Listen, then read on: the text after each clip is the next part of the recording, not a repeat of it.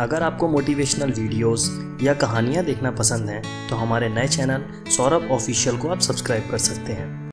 हम पाकिस्तान के बारे में हर रोज़ अखबार में कुछ ना कुछ पढ़ते ही रहते हैं। किसी ज़माने में पाकिस्तान भी भारत का हिस्सा था, लेकिन 1947 में दोनों देशों में बंटवारा हो गया। बंटवारे के बाद से ही हिंदुस्तान, पाकिस्तान एक दूसरे के जानी दुश्मन बनकर दुनिया के सामने आए। दोनों एक दूसरे की इज़्ज़त की धज्जियाँ उड़ाने का कोई भी मौका नहीं छोड़ते। भारत पाकिस्तान पर आरोप लगाता रहा है कि पाकिस्तान हिंदुस्तान के खिलाफ आतंकवादियों को जगह दे रहा है, जबकि पाकिस्तान भी अपने वहाँ होने वाली आतंकी घटनाओं के लिए भारत को ही जिम्मेदार मानता है। तो चलिए आज हम पाकिस्तान के बारे में कुछ ऐसी बातें जानने की कोशिश करते हैं जो शायद आप नहीं जानते। मैं हूँ सौरभ, आप देख रहे हैं रिवीलिंग गाइस चलिए शुरू करते हैं। पाकिस्तान भारत से 14 अगस्त 1947 में अलग हुआ और सन 1957 में इस्लामिक गणराज्य बन गया।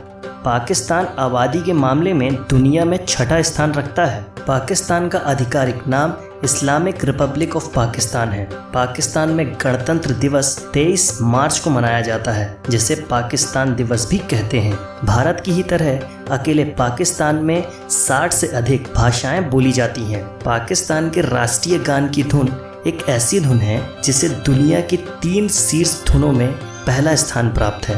महिलाओं के लिए असुरक्षित देशों की सूची में पाकिस्तान तीसरे नंबर पर आता है और वहीं भारत चौथे नंबर पर। 2030 में इंडोनेशिया को पछाड़ पाकिस्तान विश्व में सबसे ज़्यादा मुस्लिम आबादी वाला देश बन जाएगा। पाकिस्तान की राष्ट्रीय भाषा उर्दू है, जबकि आधिकारिक भाषा इंग्लिश है। दुनिया में 50 प्रतिशत से ज़्यादा फुटबॉल अकेला पाकिस्तान ही बनाता है। 1965 में कश्मीर मुद्दे पर भारत और पाकिस्तान के बीच दूसरा युद्ध हुआ था। 17 दिनों तक चले इस युद्ध में दोनों तरफ़ से हज़ारों लोग घायल हुए और मारे गए। इतिहास में द्वितीय विश्व युद्ध के बाद यह दूसरा सबसे विनाशकारी युद्ध माना जाता है। 1965 के युद्ध में भारत और पाकिस्तान दोनों ही अपनी अपनी जीत का दावा करते हैं, जिसकी समाप्ति सोवियत संघ और यूनाइटेड स्टेट्स के बीच में पड़ने के बाद हो पाई थी। पाकिस्तान के पास दुनिया का सबसे बड़ा एंबुलेंस नेटवर्क है, जिसे एथी फाउंडेशन चलाता है, जिसका नाम Guinness book of world record में भी दर्ज हो चुका है। आप यकीन नहीं करेंगे, पर पीसी का पहला वायरस दो पाकिस्तानी भाइयों ने बनाया था। ब्रॉडबैंड इंटरनेट सिस्टम की बात करें तो पाकिस्तान के पास दुनिया का चौथा सबसे बड़ा ब्रॉडबैंड इंटरनेट सिस्टम है। पाकिस्तान में इंटरनेट का उपयोग करने वाले लोगों की संख्या कम ही है, मगर आपको यह जानकर हैरानी होगी कि पॉर्न सर्च करने में पाकिस्तान का पहला स्थान है। यहाँ हर सात सेकंड में एक बच्चे का जन्म होता है। पाकिस्तान की सेना दुनिया की छठी सबसे बड़ी सेना है। पाकिस्तान को विद्रोही गतिविधियाँ फैलाने और आतंकवादी संगठनों से जुड़े होने के कारण खतरनाक देशों की श्रेणी में भी गिना जाता है। पाकिस्तान ने 28 मई 1998 को न्यूक्लियर पावर भी हासिल कर ली थी और न्यूक्लियर पावर हासिल करने वाला ये पहला इस्लामिक देश बन गया।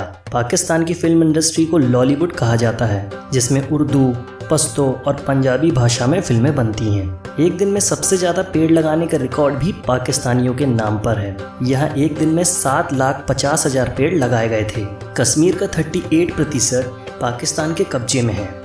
जिसे पाकिस्तान तो आज़ाद कश्मीर कहता है, लेकिन हम उसे पाक अधिकृत कश्मीर कहते हैं। क्योंकि आज़ादी के वक्त एक समझौते के तहत महाराजा हरि सिंह ने पूरा जम्मू कश्मीर भारत को सौंप दिया था। संयुक्त राष्ट्र संघ ने 1947 में एक प्रस्ताव पारित किया, जिसके तहत कश्मीर से पाकिस्तान की सेना को हटने को कहा गया, लेकिन सेना नहीं हटी और इसी दौरान एलओसी तैयार हो गई और कश्मीर का बंटवारा हो गया। पाकिस्तान एक बुद्धिमान देश है, मगर भ्रष्टाचार और आतंकवाद इसे दीमक की तरह खा रहे हैं। जब कभी भी वो इन सबसे बाहर निकलेगा तो दुनिया के शीर्ष देशों में से एक होगा।